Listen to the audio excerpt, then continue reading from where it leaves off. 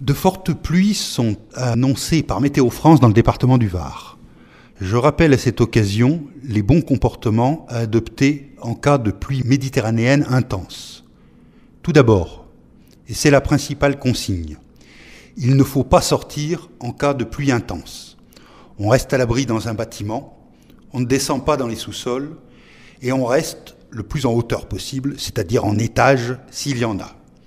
On ne s'engage ni en voiture ni à pied. Il faut rappeler que moins de 30 cm d'eau suffisent pour emporter une voiture.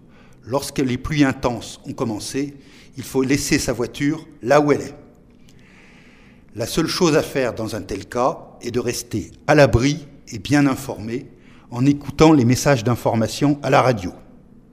Ces consignes, vous pouvez les retrouver sur le site de la préfecture du Var www.var.gouv.fr.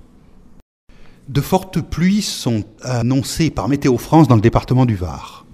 Je rappelle à cette occasion les bons comportements à adopter en cas de pluie méditerranéenne intense. Tout d'abord, et c'est la principale consigne, il ne faut pas sortir en cas de pluie intense. On reste à l'abri dans un bâtiment, on ne descend pas dans les sous-sols et on reste le plus en hauteur possible, c'est-à-dire en étage s'il y en a. On ne s'engage ni en voiture ni à pied. Il faut rappeler que moins de 30 cm d'eau suffisent pour emporter une voiture. Lorsque les pluies intenses ont commencé, il faut laisser sa voiture là où elle est.